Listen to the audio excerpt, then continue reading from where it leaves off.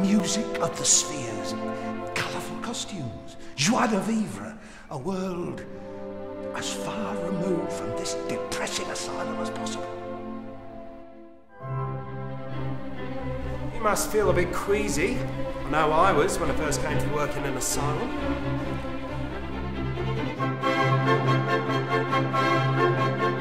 They are just normal people. I hate to point this out, but we're doing Cosi fan tutte. The experiment is over.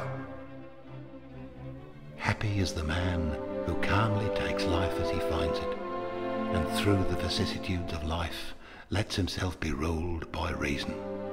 What makes another weep will make him laugh, and despite the tempests of his life, he will find serenity and peace.